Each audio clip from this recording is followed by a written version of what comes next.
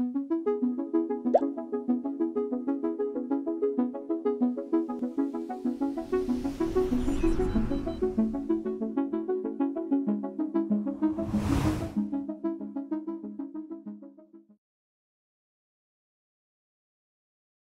y amigos del canal para estudiar con Ricardo, bueno, vamos a ver eh, funciones lineales, dos, tres cositas importantes.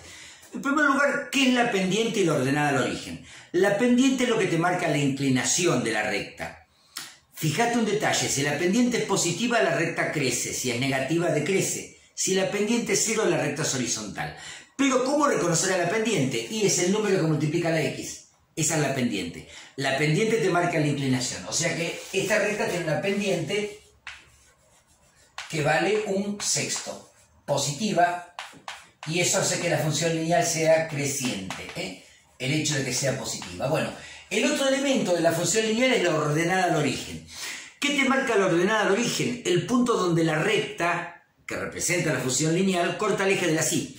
La ordenada al origen, ordenada al origen, es y igual a 2. O sea, claro, cuando x vale 0, cuando x vale 0 se corta el eje y.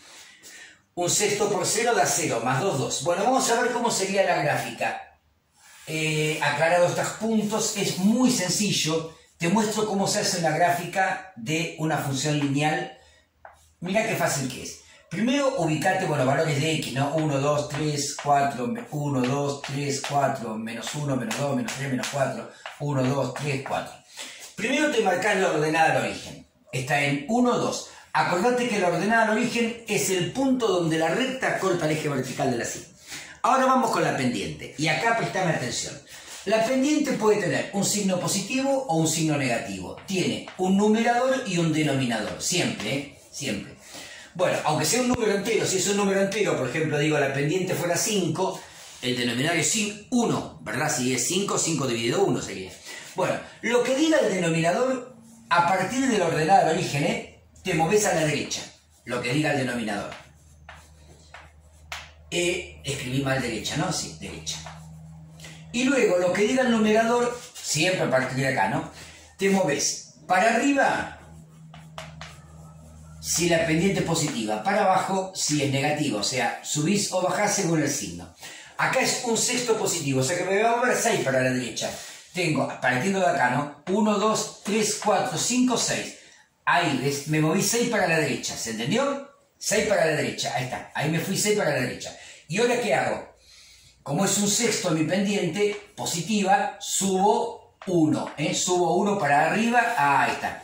¿Ves? Ahí está la pendiente. 6 para la derecha, 1 para arriba. A este punto va a parar la recta después de, cumplir con este requisito que te dije de que por cada 6 unidades de x la función sube un valor. Bueno, listo, unir los dos puntos y te queda la gráfica. Por supuesto, como te lo había anticipado, es creciente. ¿Ves? Creciente, todo el mundo me pregunta, che, es creciente. Bueno, a ver, el, hecho de que sea creciente es que si yo me muevo así en el eje de las X veo que la función se va para arriba, por eso es creciente. Bueno, vamos con la otra. Fíjate quién es la pendiente. La pendiente es menos 1, o sea, es negativa. O sea que esto, ¿qué me indica que sea negativa? Que es una recta decreciente. ¿eh?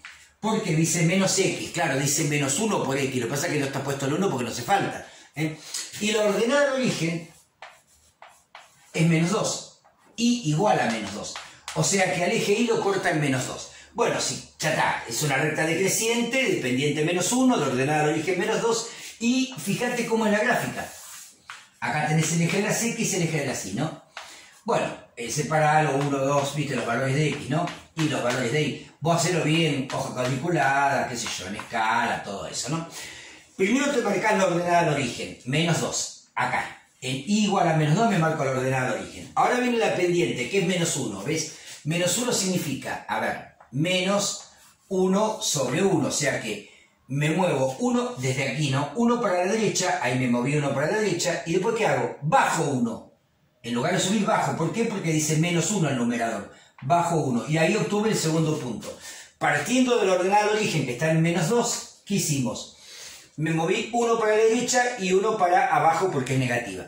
Y ahí uní los dos puntos y te queda la traza, la gráfica de la función, este, que por supuesto como podés ver es decreciente. A medida que vos avanzás en este sentido de las X, ves cómo la función va en caída libre. Gente linda, espero haber sido claro.